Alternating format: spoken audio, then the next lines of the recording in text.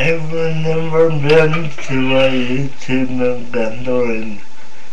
Do you think I'd, do you think I'd get dizzy at when I see it? Uh, it looks like, well, from the videos it looks like most native gatherings take place under high ceilings.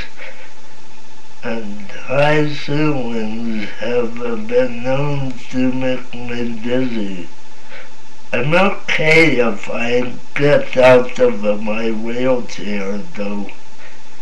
Eh, but if I do that, I need help to walk. I also seem to be okay if I'm on a scooter. I think it's because on a scooter I have something in front of me to hold on to.